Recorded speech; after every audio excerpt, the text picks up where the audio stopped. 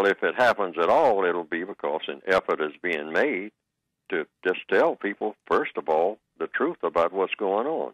That's the first order of business. If you can discover what the truth is, that's why I like to think that I'm telling the truth when I say that white supremacy is the dominant force that causes all of these problems or make the problems that are already here much worse in all of the areas of activity economics, education, entertainment, labor, law, politics, religion, sex, and war. That just about covers everything that people do. So if you have one system that makes all of these problems worse than they are, then everybody should be on the page of addressing that system, and that should be a priority. That should be something that everybody wakes up, every individual person, every black person for sure, wakes up every morning saying, Now, what can I do? What can I think about in economics, in education, in entertainment, in whatever I happen to be doing that would help to replace the system of white supremacy with a system of justice in order to make the type of world that I should be in. That's my assignment. I don't have any other assignment. Now, that's the kind of frame of mind that black people should be in rather than just wake up every morning and yawn and stretch and say, well, let me see if I can find something to do, regardless of what it is, whether it's doing something constructive or non constructive.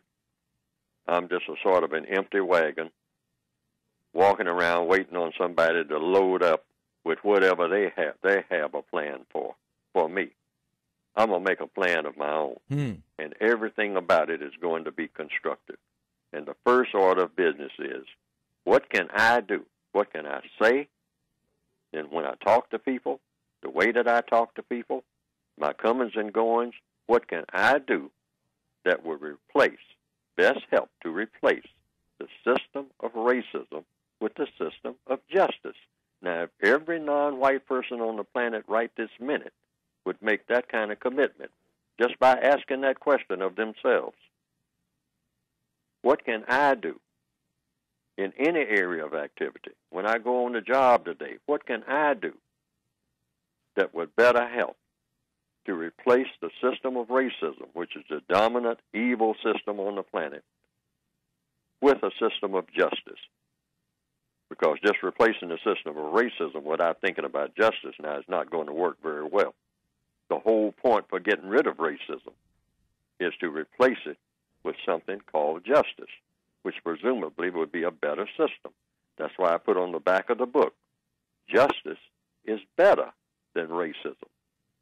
Racism can accomplish a lot of things. We've seen the evidence of that. I mean, uh, being able to talk on a telephone, being able to communicate with people, I mean, in a very fast manner, being able to travel from one place to another. Under the system of racism, a lot of these things have happened. And a lot of races have invented things. I mean, white people who believe in racism have done a lot of things that material wise have improved the comforts of the people on this planet. But even as they have done this, they have used a lot of these inventions, like gunpowder and a lot of other things that they have arranged that were always here, and used it in such a manner, put it in a tube and call it a gun and all like that, and use these things in a manner that have been very, very non constructive to the non white people of this planet. And have completely discouraged the white people who are trying to produce justice themselves. They have become the weaker people among the white people of the planet. And the strongest white people or white people who appear to be, according to the evidence, people who believe in racism. And we have to change that. And we have to change it from the bottom up, meaning the non white people have to codify what we do every day in every area of activity so that everything that we do is constructive. Every contact that we make. Just don't hang out with people just for the sake of hanging out. Mm-hmm. Just don't get on a plane and say you're traveling from one place to another just to be traveling. Yeah, we see a lot. you should be traveling with something in mind. Some like, purpose. I'm, yeah. I'm going to improve the world by taking this trip that I'm fixing to uh, take. I'm going to try to learn something on this trip that's going to be of constructive value that I can use when I come back or even while I'm on the trip. Try to spread some learning or try to acquire some learning that I can use right when I'm on the trip because I'm supposed to be in a constructive mode all the time, never non constructive. That's the white supremacist thing. The white supremacists are always trying to figure out how to build something up in order to tear something else down for non constructive reasons. They enjoy that. That's the kind of mentality they've spread all over the world. They love destroying people and things and then bragging about it and put it in their history books about how many people they slaughtered.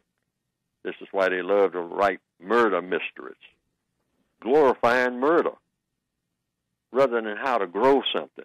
That's not the dominant influence of the white supremacists. Go in any bookstore. Most of the books, if you want to find a book about gardening or something like that, is stacked over in the back somewhere. But a book about killing somebody is right in the window. Hmm. The dagger in the back, the body in the trunk, the headless corpse, the body on the beach. Oh, that's great stuff. I got to figure out how to do some of that.